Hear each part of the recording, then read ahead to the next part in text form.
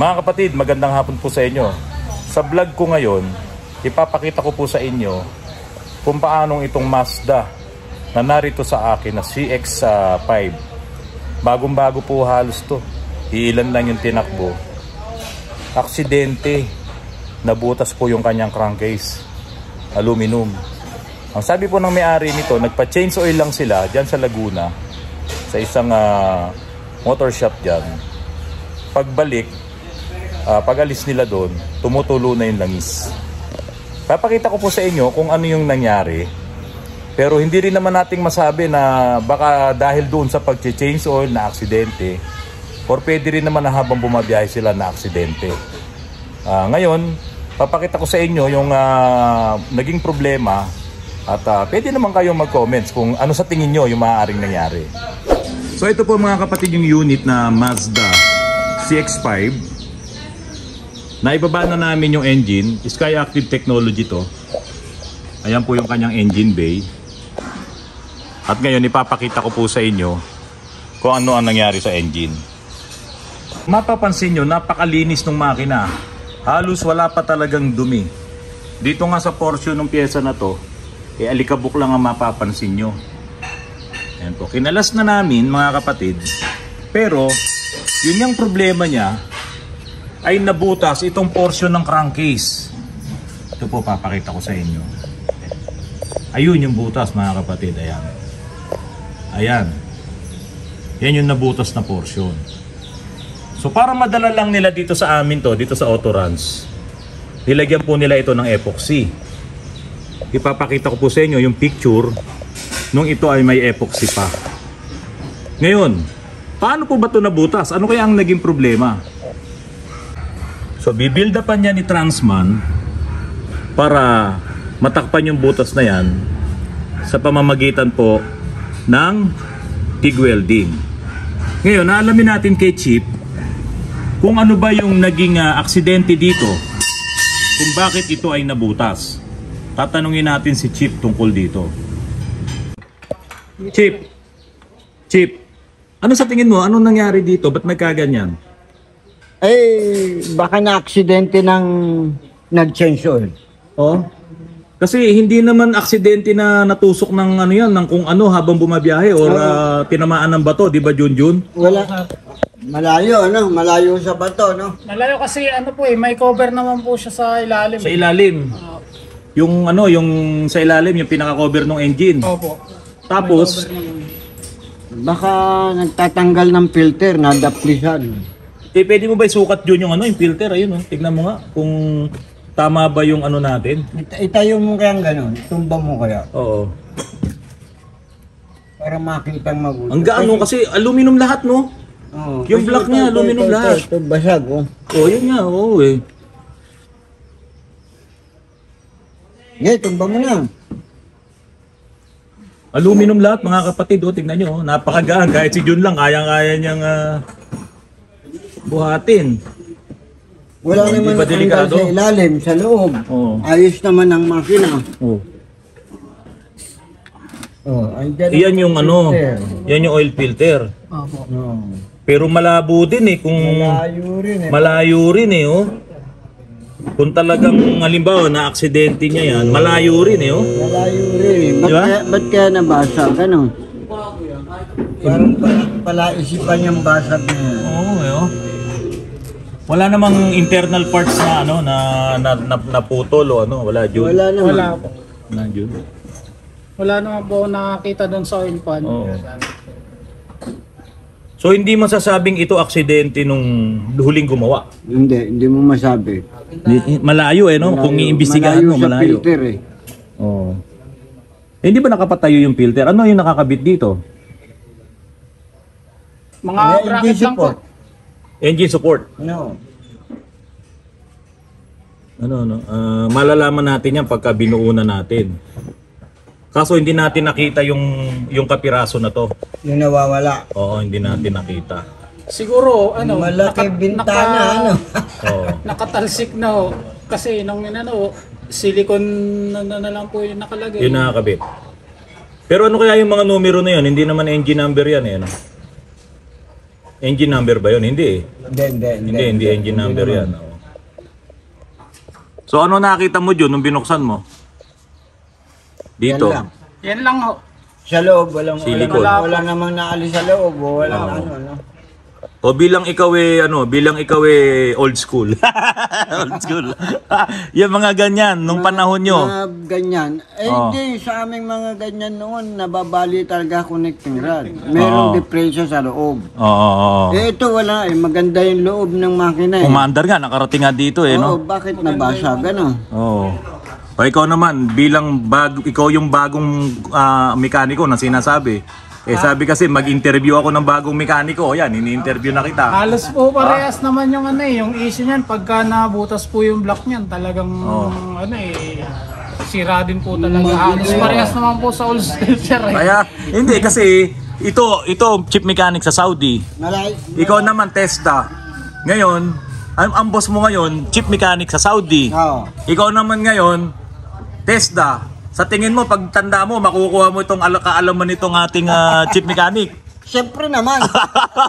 Di ba? O kaya, o Jun, dapat ito, alamin mo kay chip mechanic kung anong gagawin namin, natin dyan. Ay, hindi. Pag-aaralan natin yan pag nabaklas mo na lahat. Pag nabaklas na. Hindi, baklasin Oo. mo muna lahat. At pahinang natin ang aluminum. Ah, hinang na TIG welding ha. Oo. Oo, para hindi humina yung aluminum. Pero tingnan nyo mga kapatid, ito overhaul na to. Ang gagawin lang namin dyan, eh, ihinangin yun. Pero sa totoo lang, ito overhaul.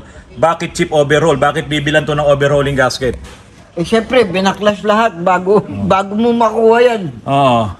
Baklas na lahat eh. Wala nang natira. Cylinder head na lang. Oh, eh pag ibinalik mo yan, ganun din, di ba? Hmm, tulo-tulo pa rin yan. Papalitan mo lahat yung gasket. Palitan na para walang tulo. Balik sa good as new. Ayun. Eh di, di babanatan na ni Junjun to. Hindi naman na kailangan alasin yung ibabaw, no? Nga. Dito lang tayo sa ilalim. So mananatili yung timing niyan lahat. Pati yung cylinder head, wala na tayong gagalawin dyan. Oo. O sige, parang may narinig akong umandar. Eh, di yun, Ah, parang may narinig ako umandar eh. Ayun, yun. Ayun. Halika, eh, paliwanag mo. Paliwanag mo nga ng konti ito. Chip. Oh, Yan, yan na. ito yung Pajero na tatlong beses na overhaul. Oh. Ano pa raw ang problema nito? 4M40 yan. Oh, ano pa raw ang problema nito? May tulo pa sa sigunyal. Kuya Larry, patayin mo muna para ma-video ko to. Patayin muna natin. Ayan. Main pulley. Main pulley, papalitan. Meron ng leeg yung kanyang oil seal. Oo. So ibig sabihin, nung araw pa to, nagkakasira-sira ito, kaya nauubusan ng langis to. Pati dyan sa, doon sa likod ng, wah, likod ng oil seal. Ang Oo. lakas, malakas doon sa belowsing.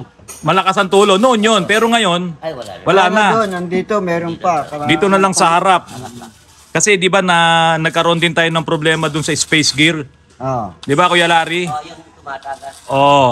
Pero ang binili nating oil seal pang 4M40, eh bakit ganun? Ba't mali yung oil seal na nakakabit natin? Hindi, yun ang kasukat niya. Pero ito, 4M40 naman to. Hmm. Pero yung kasama sa overhauling gasket niyan, mali ang oil seal. Mali.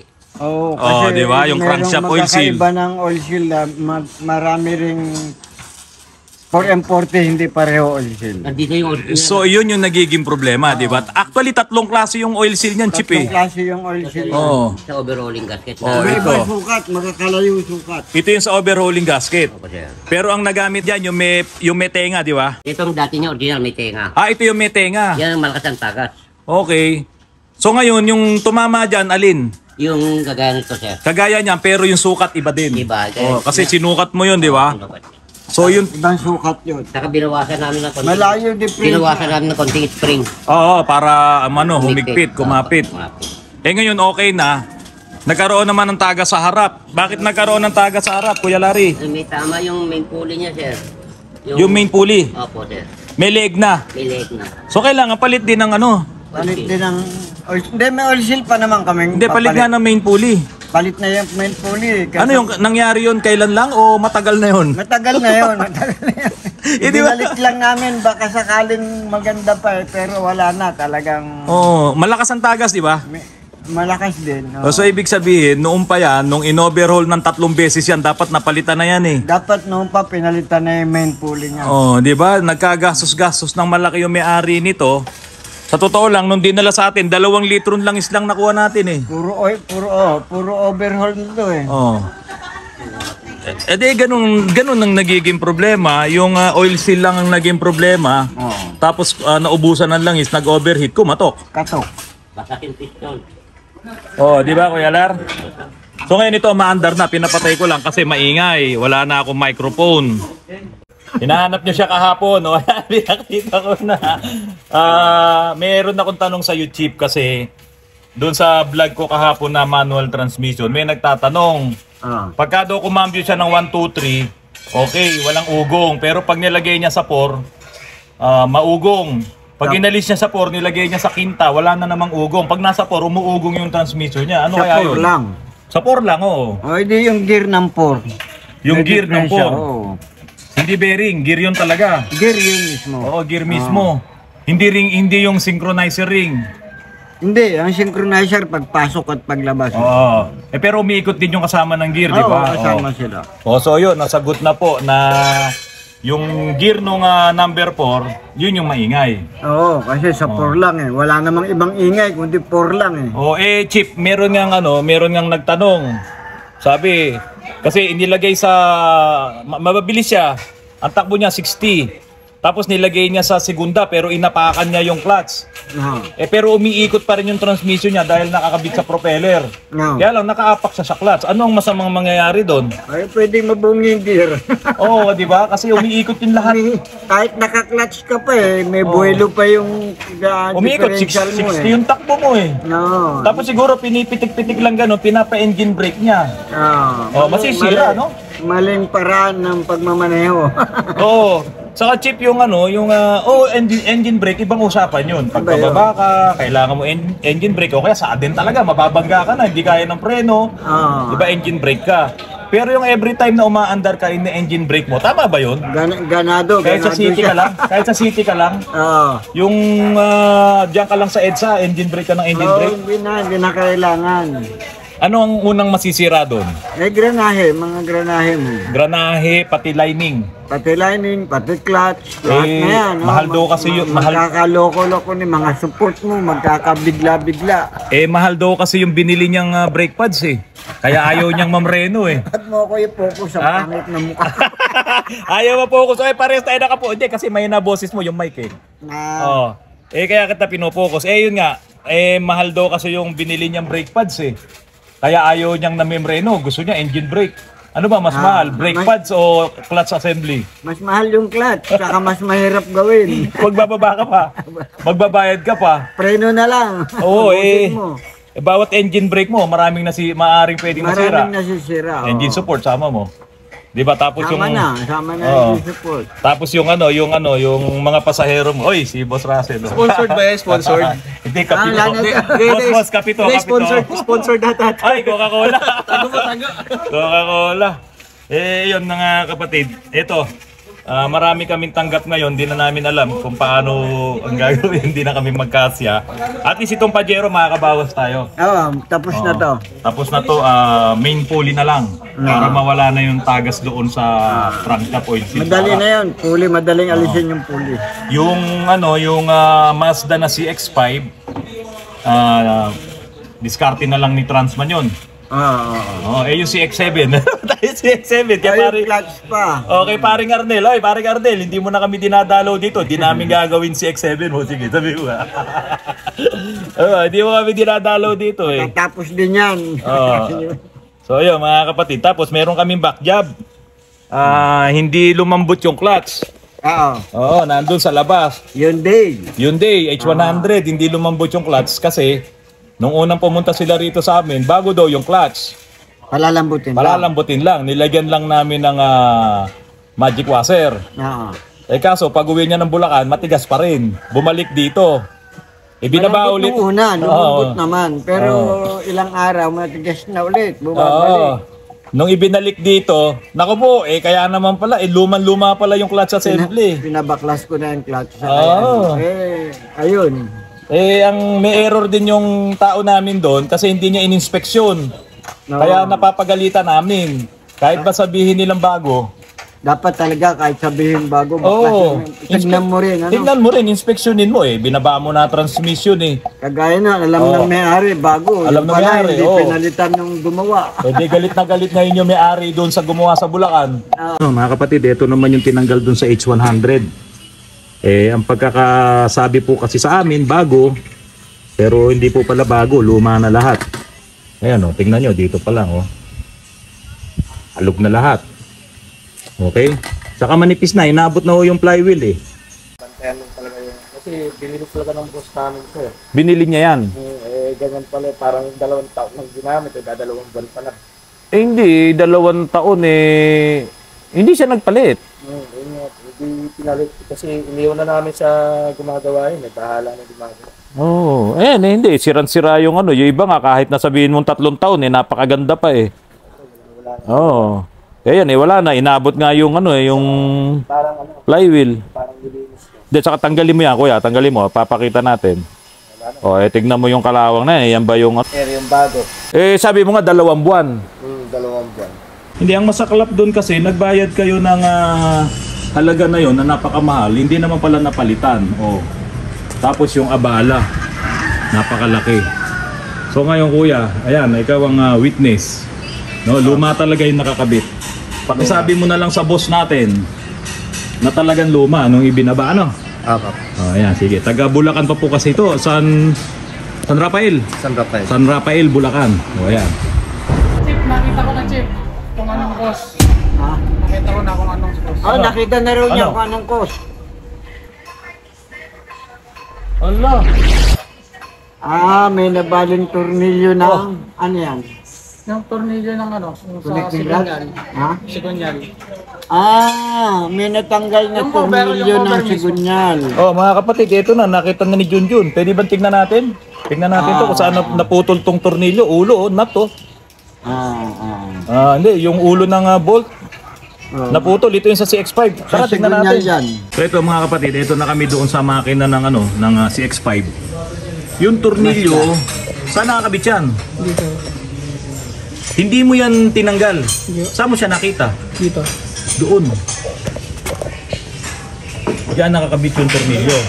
Dito nakalagay, oh. Nakaganda. Oo. Diyan nahulog. Pero dito dito yung butas, ayun. So Chief, ay paliwanag mo nga. Ito, ito, ito, ito. Ito yung, ito yung lalagyan. Oh, diyan siya naputol, Ah, yan. dito siya nalag, nalag. Tapos pumasok doon sa loob. Sa loob nun. I Umipit sa sigunyal, Oh, pag ikot, ayun na, nabutas na yung housing. yung housing. Ang gawin mo nga, Jun, try mo nga na kunwari nakaipit. Babalik, uh, lalagyan ko lang na ilaw yung camera. Sa portion. Ayan, ayan, ayan. Napulot ko siya dito. Hindi, dito mo na ilagay sa nabutas. Ah, dito. Ayan. Sige. Ayun. I-stack mo dun sa butas. Sakto na yan. Dun sa butas. Nasaan yung butas? Ayun, yun, yun, yun, yun. Eh, nakasakto siya sa butas. Tapos, pwede bang ikutin yung sigunyal? Titignan lang natin kung yung mal- pinakamalapit sa kanya. Kaya mga kapatid, ah iaano namin, ah kumbaga sa mga palabas sa TV, idadramatize namin to.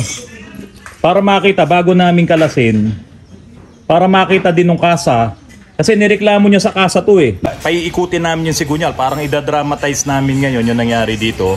Ipapakita po namin sa inyo kung paanong nabutas yung crankcase. Ito po mga kapatid. Ano? Ayan. Ito, yan. Sige nga, ikutin mo nga. Ikutin mo. Yan, umano to eh. Lumapit eh, no? Humataw siya dyan, Oo. Kung ano mang pwesto niya, matulin kasi yan eh. Oo. Ayun, ayan, yan, yan, yan, Ayan yan, yan, yan yan na. Pumalso na Ayan sa connecting rod. Oh, ayan na. Oh, wag mo na ituloy. Hindi, ikot mo pa, hindi, ikot mo pa konti, ikot mo pa. Babalik na lang natin.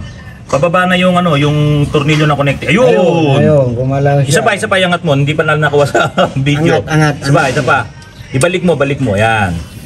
Okay, ito mga kapatid, tignan nyo. Naputol yung ulo ng tornilyo. Tapos umipit siya rito. Sige, ikot mo pabalik. Ayan, yan, yan. Ayun. Yun. Oh, wala na. Butas na. Butas na. Butas na yan. Oh, balik mo. Balik mo at kukunin Balik mo. namin yung tornilyo. Balik mo. Hindi, sige, kukunin ko yung tornilyo. Hop, tama. Yun. Ito yung tornilyo, ayun na ho yung butas. Ayun yung butas. So yung sinasabi ng kasa na hindi kasalanan ng ng unit nila, Tapos, itong tornilyo to, yan, dito naputol galing. doon, oo. So hindi kasalanan nung ano, nung talyer. Mismong yung sasakyan ang nagkaroon ng defect. Ayan oh. Oo. Hindi, putol na yan eh. Nabasag na siya. Nabasag, lumipat doon. Dito na.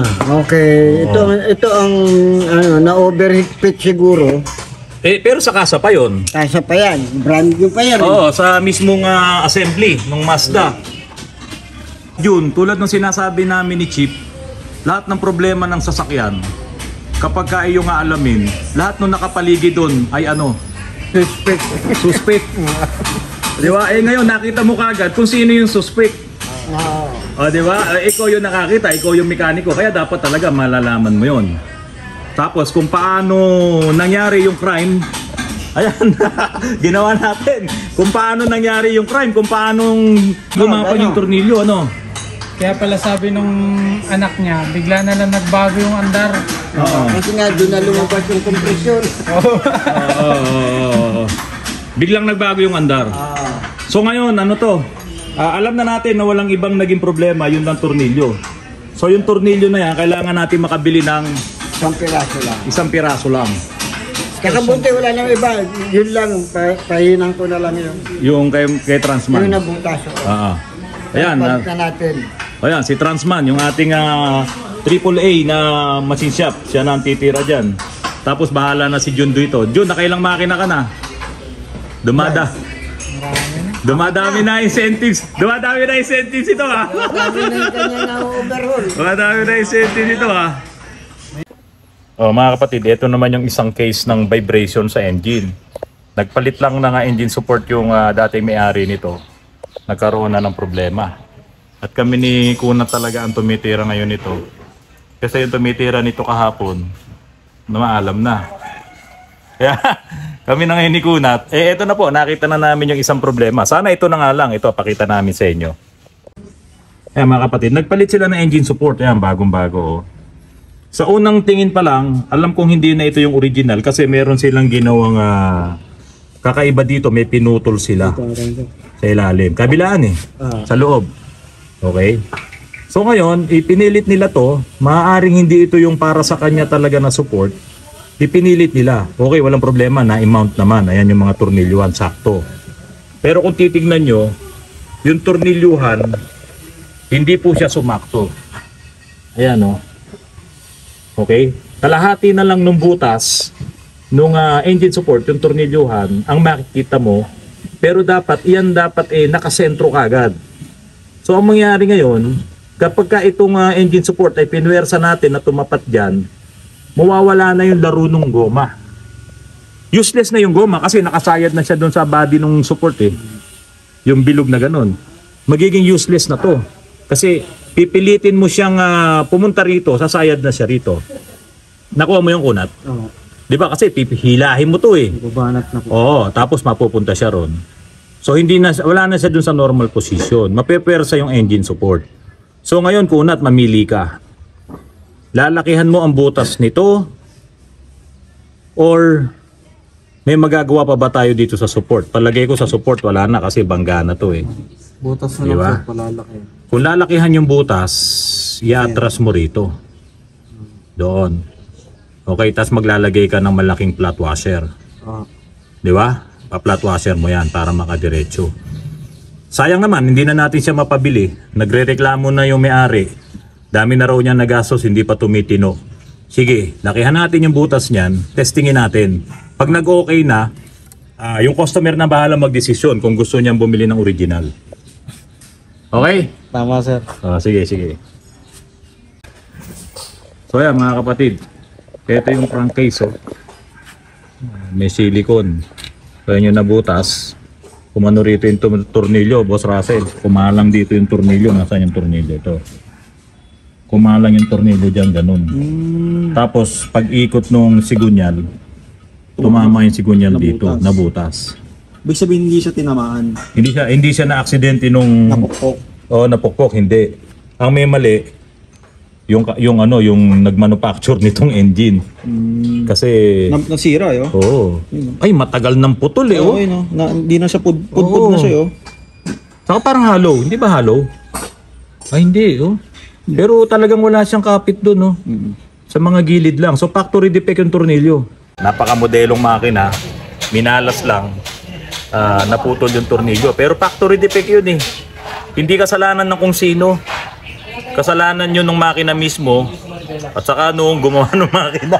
Tama? Ha? Hindi, hindi. Yung kasa kasi nagbebenta lang yan eh.